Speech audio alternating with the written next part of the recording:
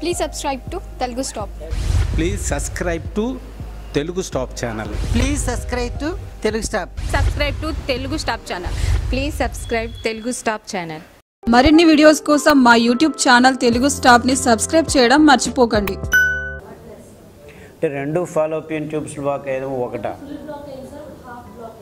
హా, సంతానలేమి అని పుస్తకంలో పట్టి ఉందమ్మా. అది వాడితే అర్థం బర్థం బాగా బ్లాక్ అయింది ఏది క్లియర్ అవుతూ వస్తుంది. వాళ్ళు ఆపరేషన్ చేసింది ఫలం తీసేశారా ఏంటి? ఉన్నాయి కానీ ఇంకేమీ ఇబ్బంది లేదు. మిగిలినటువన్నీ సర్దుకుంటాయి.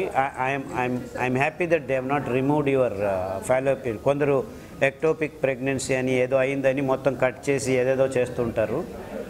అలా జరిగితే ఏం చేయలేము ఒక్క ఫాలోపిన్ ట్యూబ్ ఉన్నా కానీ దాంట్లో బ్లాక్స్ ఉన్నా కానీ ఈ సంతానలేమి అనే పద్ధతి అక్కడ ఉన్న ఆహారం మరియు కషాయాలు వాడుతూ ఉంటే ఖచ్చితంగా మీ వయసు ఎంత?